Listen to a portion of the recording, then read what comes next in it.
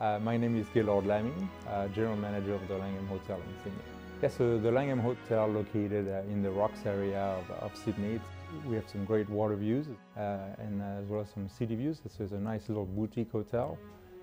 One of the, the feature that really makes this hotel stand out is the design of it, of, of our rooms. Um, you have that uh, classic uh, British design with suites that have a terrace uh, overseeing Darling Harbour or the city uh, and, and also suites with, with balconies. So the, the, the, one thing that stands out, I would say, is the friendliness of, the, of our colleagues uh, and how consistent and good the service is. It's really what sets us apart.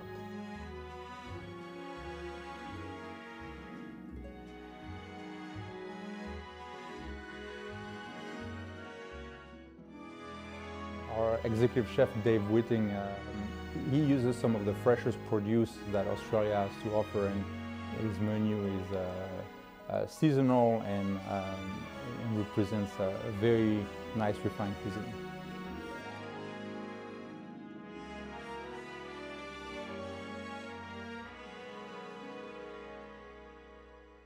So we have a prime uh, Sydney location. We are literally within walking distance of all the main attractions.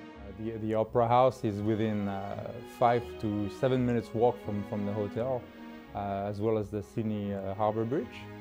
So the customer service is what uh, you know this hotel is all about really. Again, the fact that we're a smaller uh, size hotel, it really allows us to personalize the service and you know when you're staying here, you really feel like you're the only guest in the hotel pretty much. So uh, you know our, our colleagues are very focused on this.